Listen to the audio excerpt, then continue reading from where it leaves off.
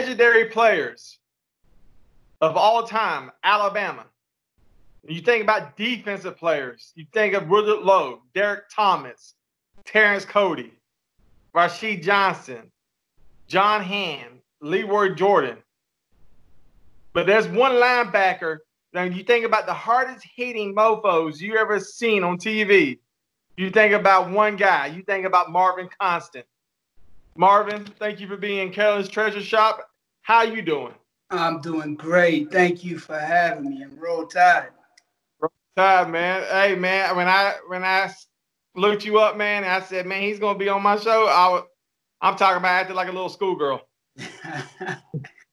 anytime, anytime. I'm always available.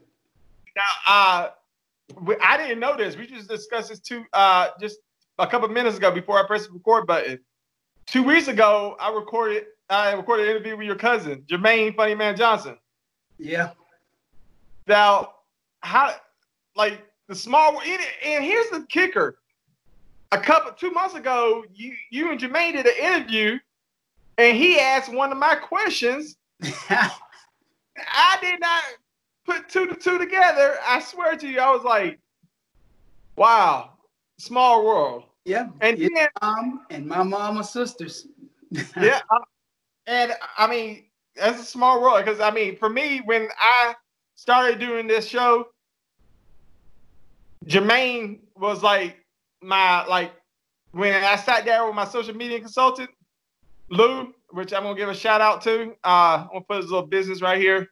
Probably see it right. If you're watching this now, you see his little advertisement right here somewhere. Yeah, right there. Bam.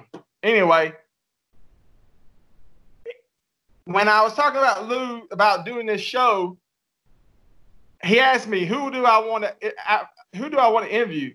And I said, uh, "Man, this is a comedian that I've been following for three years. He's been on the couch talking about he watches Alabama football, and uh, I want to interview him." And Lou looked at me, but you probably want to start a little. You want to start slow, you know.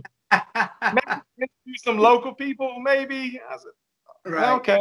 Second episode, second episode in, he, I went to his website. Bam, he said yes. I was like, See? so hey, you never Jermaine. Forget Jermaine. How it's gonna happen? So, yeah, you know, I, a, lot are, a lot of people are a lot more approachable than you actually think. Yeah, yeah. He, the class that that man has is unbelievable. I don't want to make this, Jermaine had his time two weeks ago. I don't want to make this about Jermaine. I want to make this about you. Let's start it off what I what I ask everybody. The first question always: Where are you from? Tuscaloosa, Alabama, Central High School, class of 1998. Roll Tide, go Falcons. now, is it? I heard it through the grapevine that you actually as a kid, you sold sodas at uh, the stadium. Was that Legion Field or Bryant Denny? Bryant Denny Stadium. Um, Central's coach who just retired, Dennis Connor. Dennis used to be over those concessions. Shout out to Coach Connor. And him and my uncle would always be out there. So they would always have us out there selling Cokes. So yes, I sold Cokes in Bryant Denny as a kid growing up. Now you brought up Central High School. Y'all won the six eight championship in '96. Tell me about that season because I mean that wasn't to this day. People in the state of Alabama. I don't follow high school sports. I don't want you to pretend like I don't want to pretend like I follow high school sports. I don't. You know, once you get to college level, that's when I pay attention to you. But people in the state of Alabama still remembers that '96 season with the six A because our, high school played in the six A during that time. Uh, tell me about that season. Tell me about uh just tell me about playing for the state championship. Um, that season it was I'll say this, most of the games that we actually played that year were far easier than our practices. So the only challenge that we had that season was when we played Robert E. Lee and we ended up winning that game 13-10 and they were like the number one team in the country and we ended up beating them. It was like week four or five and then when we played Jeff Davis for the state championship, we ended up winning that game seven to six. Outside of those two games, everything else was pretty much a cakewalk. But when you look back at that team and you look at all the talent that was on that team across the board, how many guys went to Alabama off that team, it was ridiculous. So, I mean, you know, it was like you didn't have a choice but to win. But the thing about it, we were all neighborhood kids that just grew up together. You know, there was no recruiting, none of that. Nobody was calling people, hey, won't you come play with us?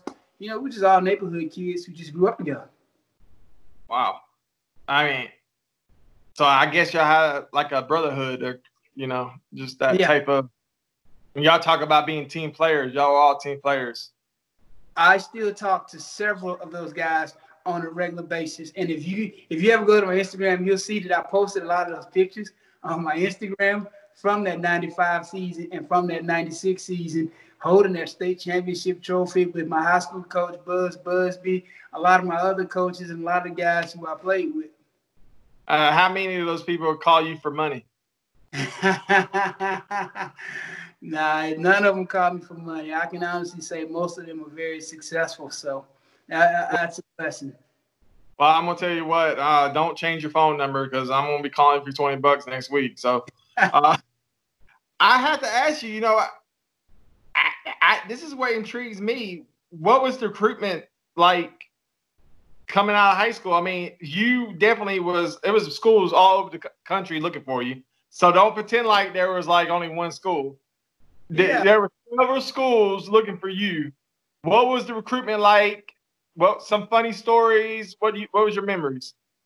Um, recruiting. It was a fun process, and just the fact of you know a lot of kids. You know they'll see they'll get a scholarship offer from one school, two schools, three, four, five schools, and and you know they're on cloud nine. You know I think back to having over 50 scholarship offers from Penn State, Notre Dame, Michigan, Miami, almost every school in the SEC, Florida State, USC, UCLA it was like everybody wanted me to come play at the school. So, you know, when you have people all over the country wanting you to come play, that that's impressive because again, most people only get recruited in their region.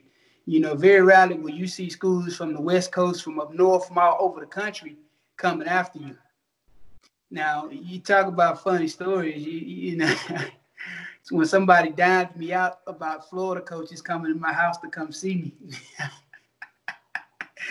I got a phone call, you know, right after they left. You know, that, that wasn't a pleasant phone call from Dubose. He, he was not thrilled. I, I got my suspicions about who dined me out about those Florida coaches being at my house, but I'm going to keep that one to myself. All right. If you ever need some help, let me know. All right. I'm, I'm hear the story. It's some. It's a secondhand story. Uh, the first episode we ever did, we interviewed David Evans of Ole Miss, mm-hmm. and he talked about how he he told me you know we, we worked together so we we interacted talked and he told me a story a long time ago. And he told me that mississippi he played for Ole Miss and he told me mississippi state called him up wanted to meet with him. And the recruiter came by and said hey uh we'll offer you we'll give you the same thing Ole Miss is giving you and David, being kind of naive and everything, he looked at the guy. He was like, "Like what? A scholarship? Like what? What? What, what are you going?"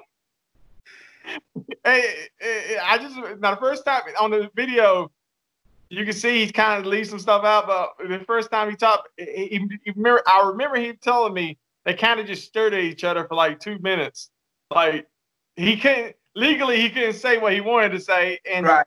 David didn't know what the heck he was talking about. Like, I, they're giving me a scholarship. What can you give me? Right. so, long story short, you know, he played for Ole Miss four years. You know, he, you know, that's the end of the story. But uh, Mike Dubose, tell me a little about him. I mean, what kind of coach was he? Dubose, he was a great coach, man. I, I actually enjoyed playing for Dubose. I didn't enjoy the three a days the what? Three a days. Yeah, we had three a days. Yeah. So we were. I never heard on three a days. We would practice in the morning, regular practice. We would have about an hour, hour and a half. We come out around lunchtime and we have a special teams practice. Then we break, and then we come back that evening for a third practice. We did three a days. That was before the NCAA stepped in and said, "Hey, y'all gonna kill these kids if y'all don't stop." That's, that's, that's no sympathy for these kids now. You know, it's two a days, one day, one day, you know, one practice the next. We did three a days every day. I mean, so we go to dinner and it was just sit there in Bryant Hall and you wait to see who's gonna be the first one to catch a full body cramp and just fall out of the chair. that kind of reminds me of some Junction Boys stuff. You heard about the Junction Boys? Yeah. Yeah. I mean, did he give you water? We got water, but you know, you can imagine how hot it is in Tuscaloosa during the summers. Doing three a days in Tuscaloosa was not pleasant. I can't imagine. I'm from Alabama. You know, it's hot. It's hot. So you're doing three a days and all that equipment. Oh my God, it, it is it is torture. So you got recruited. Uh, Florida, Penn State, you had a bunch of recruitment. You went to Alabama, but something happened. You got redshirted.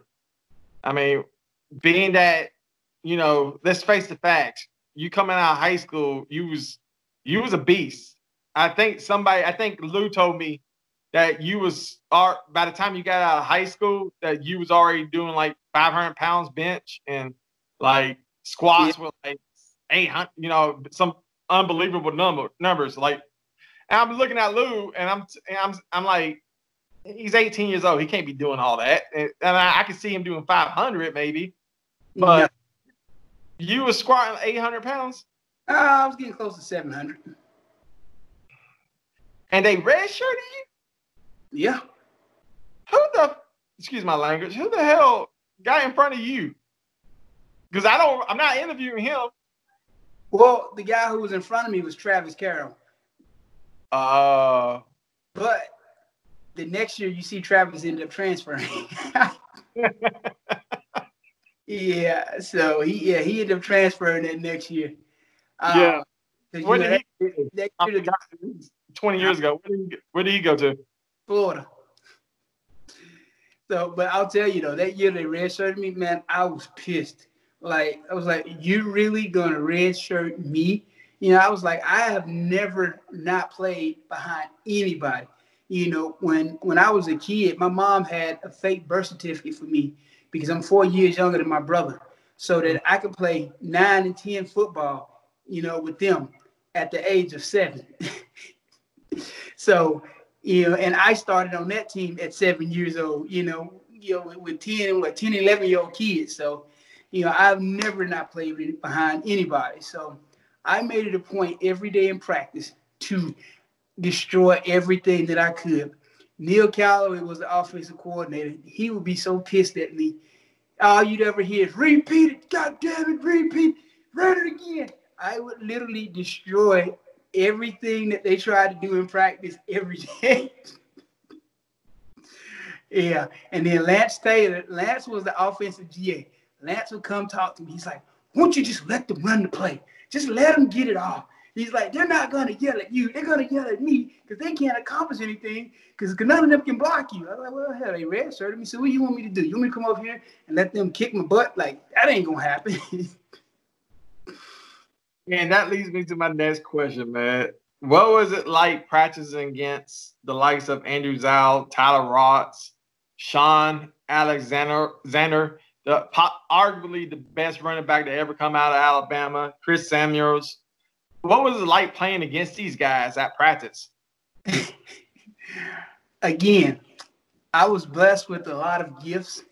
So a lot of times when I'd be at practice, because just being honest, there weren't many people who could block me. So a lot of times you'd hear Dubose hollering, "Stay off for Sean, because I would be back there trying to knock him out. oh boy. So I mean, it was a lot of days when they'd all be mad. Like, you know, can you just not disrupt everything? I mean, so you know, Chris. Oh, Chris, I got Chris too. One time, I hit Samuel so hard.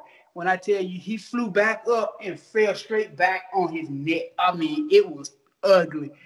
Chris jumped up because you know normally it'd be Callaway how to repeat it. After that, Chris jumped up. Oh hell no! Repeat it, repeat it. He wanted to run the play again. I'm like, hey man, I've already did you in. Why you want to repeat it now? so yeah, it, it was uh-huh. a lot of torture at practice. yeah, was, and then he had, they had to go through it three times a day. Man. Yeah. I mean, I, I can tell you some stories, but one one of my good friends, Terry Jones Jr. You know, me and Terry played high school together and college together. I caught Terry running a little dig route across uh, across the field one day in practice. When I tell you, they didn't throw him the ball, but he started jogging. He started, you know, taking it off. I laid into him. When I tell you, I cleaned him up. I, I, all he was like, mm. I laid him out. About three plays later, I just feel somebody just my whole left side just collapsed. I look up and it's him. I told you I was gonna get you. so, yeah, it, it was a lot of fun going on back then. Uh, we're gonna fast forward a little bit. I'm sorry. You, you're a funny cat. You know that. Yeah. Uh, what, what's your memories of Legion Field and Bryant Denny Stadium, man? Legion Field. We only played a few games in Legion Field. Yeah, I know uh, you played Vanderbilt because I was there. Yeah, we played. Uh, um, I mean, Legion Field was cool. I was never. I always preferred playing in Bryant Denny more than Legion Field. You know, Bryant Denny always felt more like a home game. You know, going to Birmingham and playing at Legion Field, you know, being an older stadium and it was more spread out, you know, it wasn't as loud as, as Bryant Denny. You know, yeah. As a fan, it hurts your back for four hours sitting on those little steps. Jesus. I can imagine. You, you're literally trying to put your back against somebody's knee so you can have some support. But go, I'm sorry, go ahead. Yeah. So I mean, I I always enjoyed playing in Bryant Denny more than I did Legion Field. So you know, and playing in Bryant Denny, oh man, I had I had a lot of fun playing in Bryant Denny. You know, you know some of the guys who we played against in that stadium. I mean, you're talking about great memories. You know, playing against Jamal Lewis, Travis Henry, all those guys in Bryant Denny, Kevin Faulk, you know, Cedric Wilson. Oh man, like man, it was crazy the level of talent that we played against in that stadium. Right. Uh, and you know, your is your I haven't last time I was in Tuscaloosa, I think was I was working in Tuscaloosa and I went by the stadium and I went to check out Bear Bryant Museum. Uh, is your picture still up around the stadium? Um, I got a few in Rama Jama, yeah. Yeah, because I I remember seeing your picture, but I mean it's been years ago. Yeah, it, it, used to be in the Bryant Museum. I don't know if it's still there or not. I hadn't been in the Bryant Museum in a while, so yeah. But and also, you know, speaking of, of, guys that we played against in that stadium, you know, one of the guys, you know, we played against University of Florida, Reche Caldwell. Just you know, shout out to him and his family, man. That hurt my heart this morning to see. Yeah, actually, so, yeah. I, I was gonna say, uh, you already mentioned them. I was gonna ask you your input on that. I have it right here. Play, you know, playing against uh, players like Deuce, McAllister and him and Jamal Lewis. Uh, what was your take? And let's go ahead. Let's forget about Deuce McAllister and Jamal Lewis for a second. Let's uh, let's talk about uh, let's talk about him. What was your memories of him playing against him?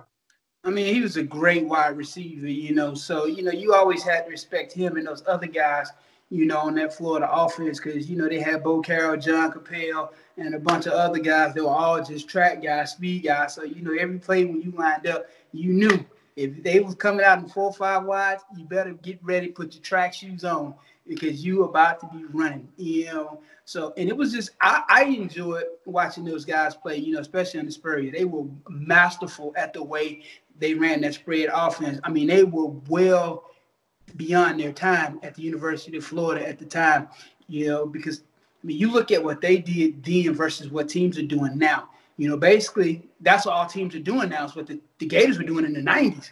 You know, it's, it's a little bit more advanced, but that's pretty much it. So you know, it was fun watching those guys play. And you looked at their defense, man. You had Jevon Kearse over there, um, Mike Peterson. I mean, they had a stacked team, but you know, but but to hear that, you know, that's what happened to him. You know, two guys trying to rob him.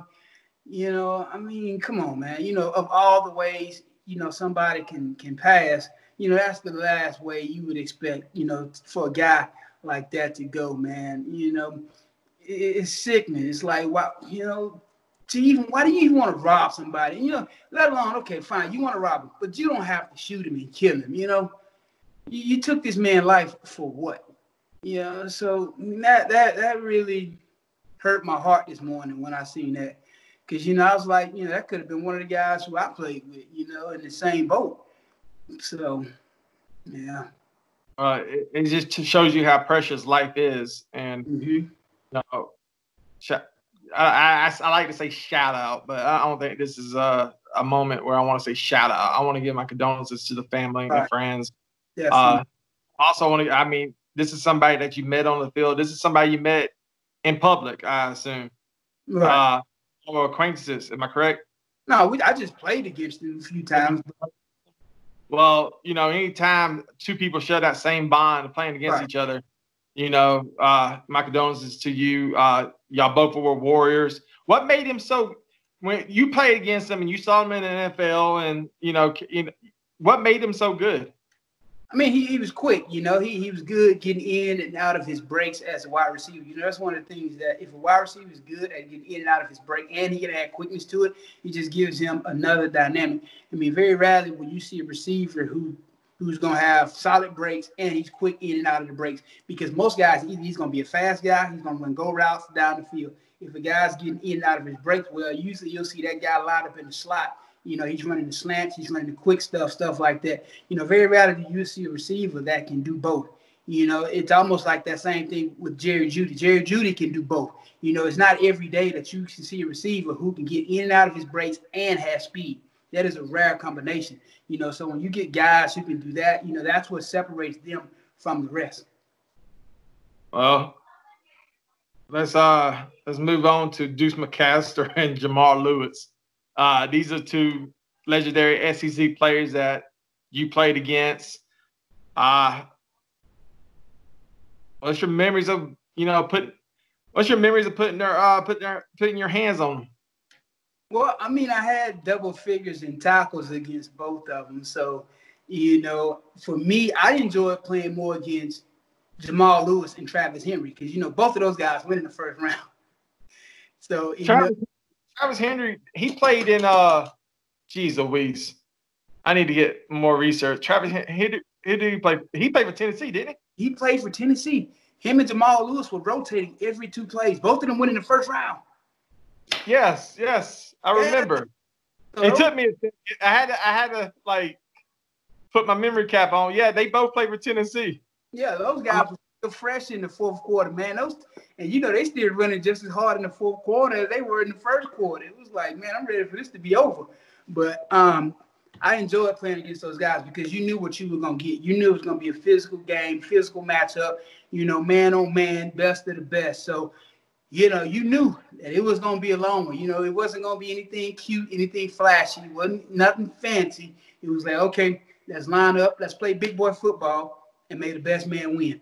I mean, that, that's pretty much what it was you know, with Ole Miss, Deuce McAllister, they were a little bit more, you know, try to be a little bit more fancy with him, you know. It was fun playing against Deuce. You know, I put a nice few licks on him. But for me, I loved playing against Travis Henry and Jamal Lewis because, again, you knew that was going to be big boy football that day, and there was no way around it. Before we get to the legendary LSU game, uh, I had to ask you. Same thing I asked your cousin I know hate is a strong word. Right. So let's use this. What do we dislike about Auburn?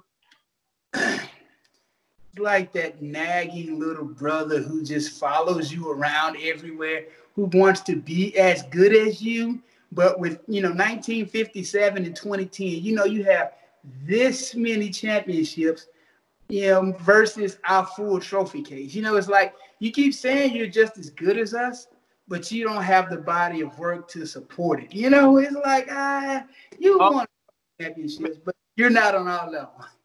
Uh, Mr. Constant, I'm sorry. To, this just this came just this just came in. Hold on, I'm reading. Auburn just won the national championship in hide and go seek. oh, it says it right here. You know where they found them? They where? found it in the room because nobody goes in there. oh, congrats, congratulations to Auburn. Good job.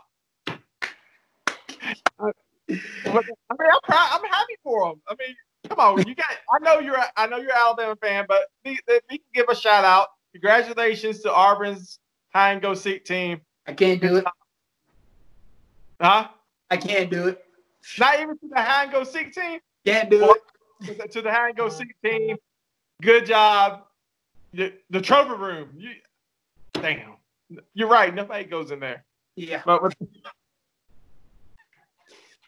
uh, uh, Mr. Constant, you're the man. Let me go ahead. Let's move on to the LSU game. Now, this game is legendary. The good thing, the cool thing about this game is you had, I don't know how many tackles you had. You had at least like 12. 13. I mean, so what? 13, what, four or five tackles for loss. Yeah, it was, it was a pretty, yeah, I was, I was doing some work that day. Yeah, you, you was the MVP, most definitely.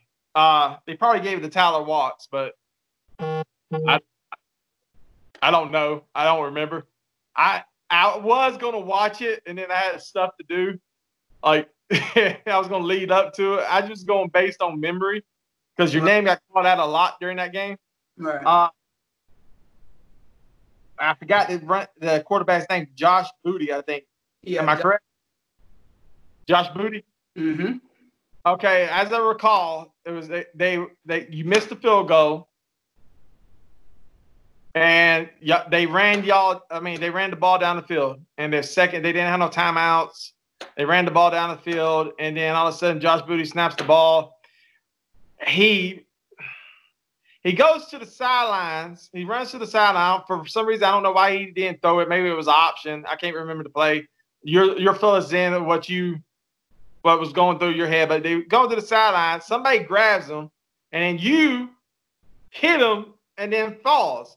Then the game is over. Everybody's cheering. Mike Dubose is on the field, and but you're not getting it up. Now you won the you won the game. First thing I want to know, what was going through your mind at that particular time during that play, and you know just you was there, I wasn't. Tell tell us what happened. Well, I seen him rolling out to the left, so I just assumed that he was going to throw it because the tight end had released. So I just you know, I assume, but then as he's moving more and more to the left, I'm realizing, okay, he's not going to throw this ball. He's about to run it. So I got to make a move. So as I make my move, I go over and he jumps. And when he jumped, I jumped. I came down on my left leg with my weight, his weight, Reggie Miles' weight, Cornelius Griffin weight, all on my one leg. Mm. Yeah.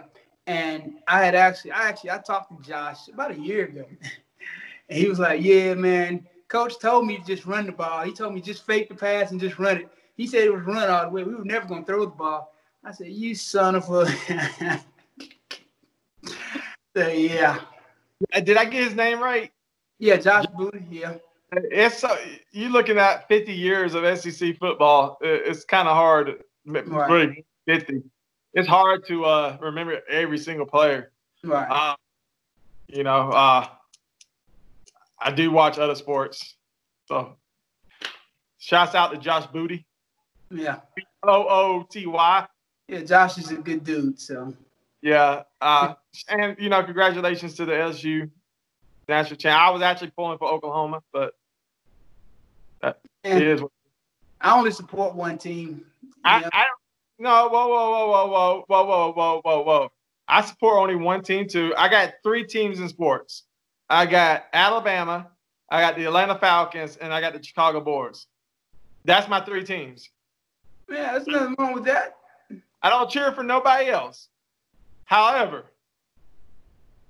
Alabama was out of the playoffs. I was keeping up with Jalen Hurts.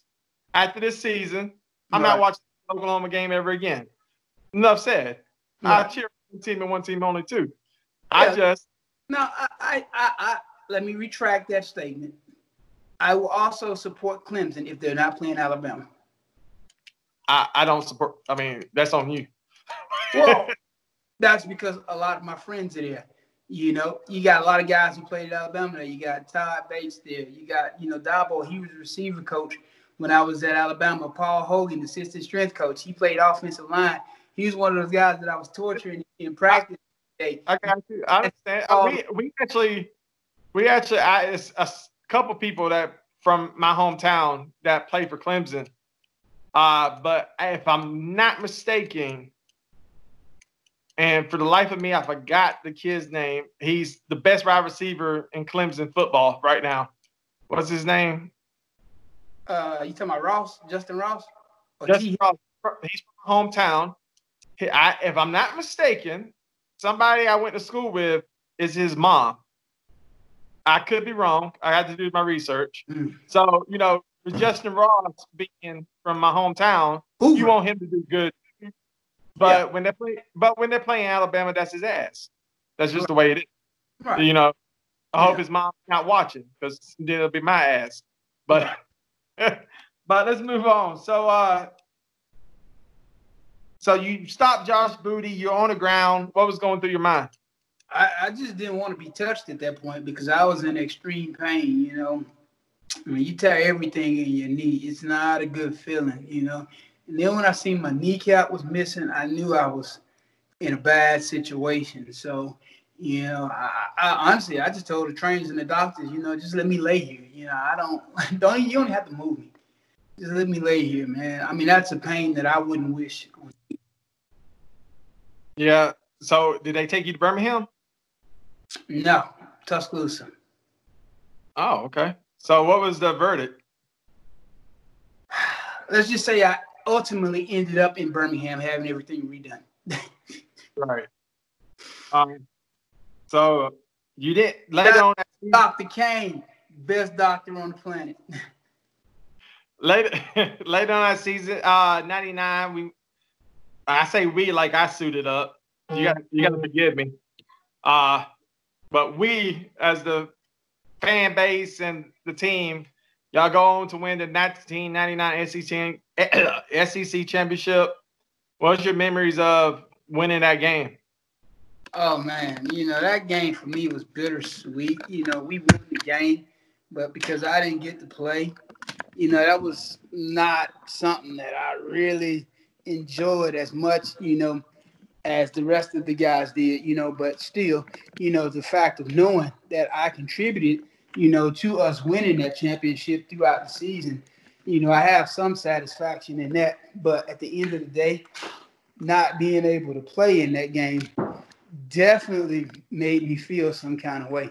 But you know, what can you do? You can't, you can't, you can't, you know, you can't win them all. So you know, sometimes you, you got to take some L's, I guess. I thought maybe you was gonna break the ring out. Oh, I needed a charger. Oh, I, I was I was getting happy. I was like, he's gonna bring the ring. He's gonna we're gonna see the ring. We're gonna see the ring. And no, that thing is in a box somewhere. yeah. Uh, so we leave Alabama. Uh, you pay from 98, uh, 98 to 2000. You.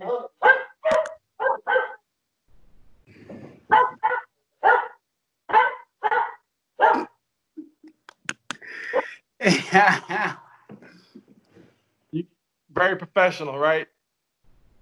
Yeah. Sorry about that. So, so we leave Alabama. You did a little stint in arena football. What was that like? It was fun. You know, I I enjoyed it. You know, it was it was definitely different. For me, the biggest thing was I wanted to to play and just show people that I was back healthy. So and ultimately, you know, I did. I met a lot of great guys along the way. And from actually, you know, playing arena, the Dolphins actually seen I was healthy. They brought me in for a little tryout. You know, it didn't go as, you know, well as I would have liked it to. But, you know, the fact that, you know, to go from people saying that I'd never run again to even playing arena, to even have the Dolphins to bring me in, you know, it was, for me, that was a major accomplishment, you know because I, I know what it would have been had I not ever gotten hurt. So, but you know, when people tell you you'll never run again and all this other stuff, and you know, to to to do what I did after all that still means a lot to me. So, now for me personally, dealing with something like this, uh, reason why I have so much respect for you is something that a lot of people don't think about. They're battle with depression, and you know, I I'm somebody who suffers from anxiety attacks. Uh, I'm I'm not I'm I'm sort of ashamed to admit that because you know, as a man, you don't you know right. it's kind of a touchy subject. Uh, but you you came out and you was like, look, man, I I had depression, and you looking at you now, you know, seeing the type of man you are now, you look like you're 20 something. Uh, you got a smile on your face every five seconds. You know, I'm glad to see that. I'm at least I hope that that time has passed. But would you be willing to talk about some of the things that you went on that you went through to maybe help somebody else down the line? Uh, maybe somebody, the 10 to 15 people watching this, because it's not we don't got a big viewing audience. Uh, well, I'll say this, man. You know, for me, the, the biggest issue that I had that I would say stirred the pot more than anything else was when you have to watch your teammates play and all these other guys play that not trying to be funny saying this, but watching them play and when you know you're so much better than all of them. No, you're not being funny. We so, we seen you play. So it's like it's it's it was hurtful to the point of damn, I can't go do the thing that I've done my whole life. The thing that I always knew that I would do until I was 35, 40 years old, you know, and to have it just snatched away, you know, like that, you know, that's what bothered me more than anything else, you know, and having to go over there to the facility and watch these games and not being able to play. It, it took an emotional toll on me because at the end of the day, again, I always knew that that's what I was going to do because for me, playing football was easy. You know, for me, I always loved to work out. You know, I always loved to play football. You know, where a lot of guys study film and do a lot of other stuff. I watched film, but I didn't watch that much film. You know, I just had the natural instincts, you know, and, and the abilities to just go out there and just do it, you know, with like no effort. You know, it was just so easy for me. And to have it taken away, yeah, that did something to me. So, you know, and it took some years to get over it, you know, because nobody's just going to get over something without doing anything. So for me, it was like, okay, you, you got to find something else in life that's going to motivate you. You got to find something else that's going to make you happy. How do you incorporate some of the things in the past that made you happy moving forward into new things that'll give you that same level of joy that you received from playing football. So, you know, it was just, you know, finding that thing that would bring you back to your happy place. And where was your happy place? well, for me, it was when I started teaching. You know, I actually enjoyed helping kids, you know, and a lot of the kids, you know, they would listen to me and they would rather come spend time with me than other whoa, teachers. Whoa, whoa, whoa they didn't have a choice. well, not even that. I mean, just like t- to this day, I still have issues with my students not wanting to leave my class. Like, you have to go to your other classes. You can't just stay in my room all day and just hang out. You know, I get it. You love my class, but you gotta go. Hell, they're probably scared to move. No, we actually we actually have a lot of fun, man. I'm joking. I know who you are. yeah, like so I, I, I teach high school engineering. Um, you know, we actually was at two years ago, we won first place in the nation for electrical applications. Last year we won first place in the state for robot design. You know, so we've won a lot of major competitions. You know, I tell I, I tell my robotics team, like, listen, I hate losing. We're gonna do this. We don't do this. I hate losing. I I know how you feel. Uh, I I started coaching my son's soccer team, and I thought I was a little Nick Saban. You're seeing me, you know, these are these are, you know, I used to laugh my ass off about these kids coming over here, you know, these coaches and parents, these are fight. But man, that that competitiveness comes in. I was trying to make them run three days. So look, I'll tell you a funny story about coach, right? so I used to work his football camps. That was back in 2009, 2010, right? So have you ever been to one of his football camps? So he holds no. these camps. He holds two for high school kids, and he has another one from for seven to 12 year old, seven to 12, seven to 13, something like little kids, right? So most of these kids, you know, the, the bags that you run through, most yeah. of these kids are not even tall enough to get through these bags. I mean, they're out there with helmets on, and coach is yelling at them, and he's talking to them like he talks to the team.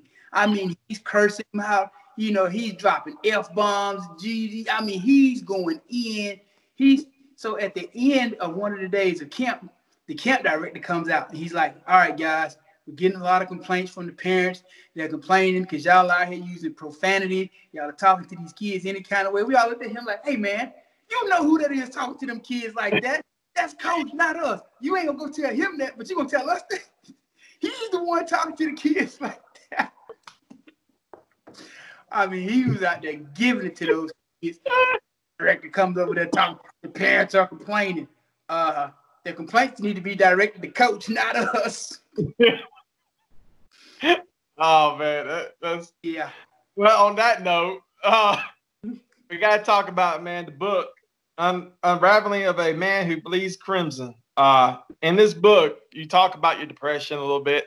Uh, you talk about playing in Alabama. You you talk about a lot of things. Uh, what gave you the influence to write this book? that was part of me finding something to help me get over my depression. You know, just you know, I just wanted to write to get it out. You know, I felt like maybe, you know, it would help somebody else in the future. You know, you never know who would pick up the book and find some type of inspiration in it in their own personal journey. So, you know, it was just my way of of giving back. And, you know, hopefully, you know, somebody will pick it up and it would inspire them. Well, we know what you're doing now. You're teaching. Uh, I was joking a little bit, but I know they like to have fun in your class and everything. But if they ever see game film of you, I promise you, they'll listen. they, have seen it. They they like to Google me for some reason. I don't know why. they want to know who they. Excuse me. They want to know who you mess who they messing with. Yeah. Like, you, got you know, I was a high school kid at one time too. I, you know, I used to test my teachers. You know, and you know, there was teachers that you tested, and there was teachers that you did not test. Right. It, it, just the way it is. But uh, uh, congratulations on your teaching career. Uh, I got some quick questions for you real fast. Uh, all-time favorite Alabama player. Ooh, that's a trick question. um, all-time favorite. I gotta go with my roommate.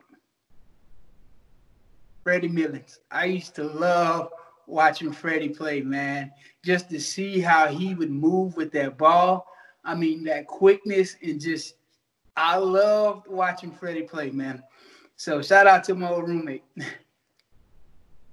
uh, all-time favorite Alabama moment. Ooh.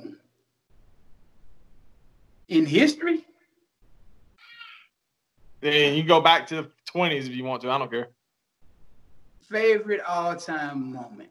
Um, if I had to say favorite all-time moment, it would probably be Marcell Dareus in that 2009 national championship game against Texas when he ended up with that ball and he stiff arms uh, that quarterback. I don't even remember who was it. Was it Applewhite or Colt McCoy? I don't even remember which one it was. But when he stiffed on him to the dirt, I was like, yeah, now that is the true definition of Alabama football. my, my my wife can tell you this story. Uh, I, I was talking talking about your cousin again, Jermaine. Uh, we was talking about favorite all time moment, and I said the catch, and I I remember to this day my my fiance and me were out of town during the Tennessee Alabama game in mm-hmm. 2000, and was it 2000? Yeah, 2009. Uh, and the field goal block from Terrence Cody. I remember because we haven't had a national championship to, since 1992. Right. And I was telling my fiance at the time that I need a national championship. You don't understand how important this is to me. And I right. remember being on my knees in the hotel room. I didn't even see the block. I was on my knees praying. And I, I could just imagine my Kim told me later that she was just looking at me like I was retarded. But uh, I just I was on my knees praying something miracle would happen. And boom, Terrence Cody. Mm, I missed. I had, to, I had to watch the replay. Just get yeah. one up. That's all you need. months later, we win the national championship, and I've never been the same since. Uh, quick question, uh, last question, and I know you have to go. Uh,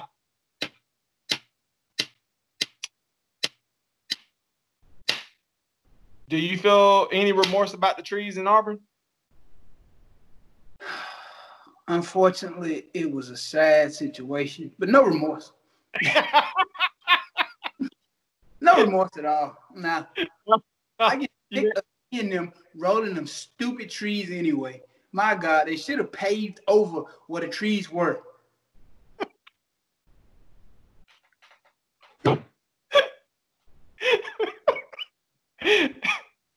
Marvin, uh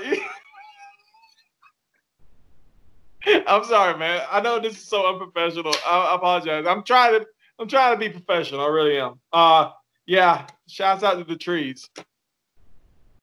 No. Anyway, uh, you know, I'm gonna want some Auburn players to be on here, and they're gonna they're gonna all say no. You know, I just I, life happens. I just have to stick with Marvin Constant.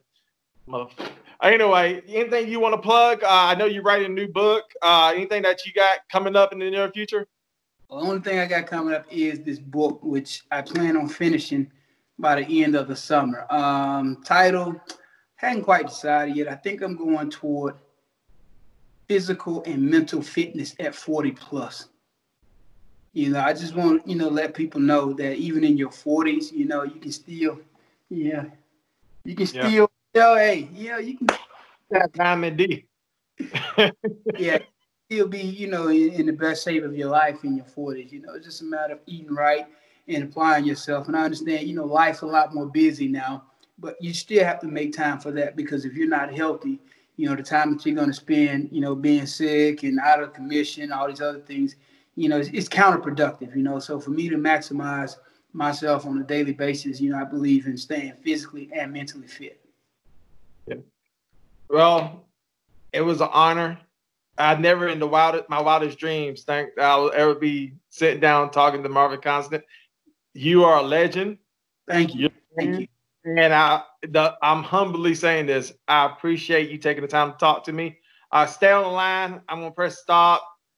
Check uh, to everybody watching. You know, stay tuned. Carolyn's Treasure Shop. You know, this ain't it. We got more legends coming. Thank you, Mr. Constant. Damn. Here at Carolyn's Treasures, you can design your own belt. I'll band with my favorite team! Roll Tide! We don't like Auburn around here, but if you do, we will make you one of our Auburn Championship belts. Ooh, yeah, this is heavy.